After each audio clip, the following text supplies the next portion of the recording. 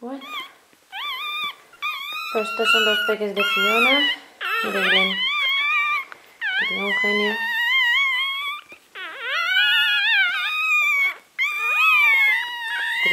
tres chicos y dos chicas.